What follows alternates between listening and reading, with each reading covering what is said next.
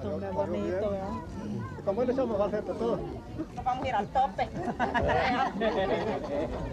Como asado, lindísimo, que ojos por la grasa.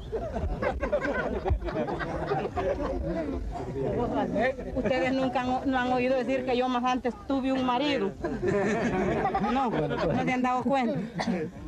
No, yo pregunto por si lo han visto como esta realidad es cambiante, tal vez ya es el caso aquí en la Ya está, si lo ha perdido está, mire que ya camina verde. ¿Y a dónde estará ese indio? Pues? Que no lo miro.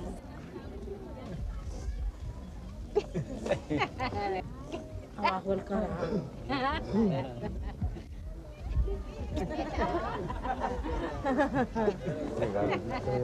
Yo por eso pregunté si conocían un hombre que fue el marido mío, porque nadie sabe. Usted se casa y yo vengo bufando aquí. Pues sí, esta realidad tan cambiante.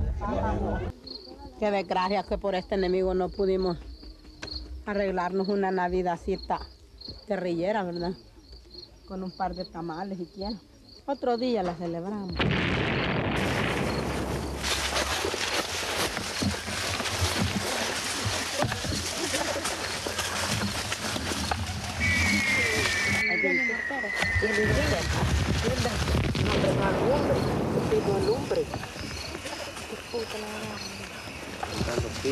Abran la boca porque si cae un, mor- un mortero cerca, no se le jode los oídos. porque- Lo miedo que me den estos grandes árboles, que si se detona arriba el hijo de puta, las esquinas las agarran para abajo.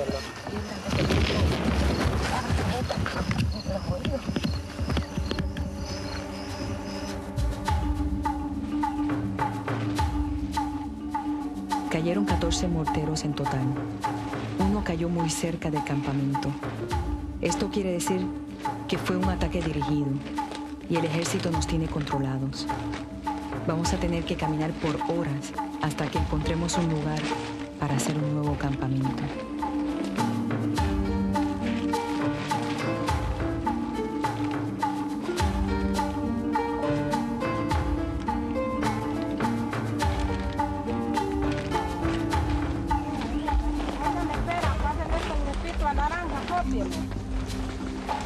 Imagínense esta pelazón que lo agarre a uno, un helicóptero. Se lo acá y hace aquí.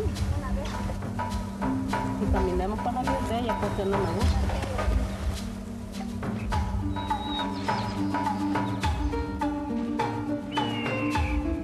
Miren, yo le voy a decir la verdad.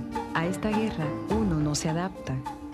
Un día estamos planeando un ataque y al otro el ejército nos obliga a correr. Pero no vamos a estar para arriba y para abajo siempre. Un día voy a cambiar estas viejas botas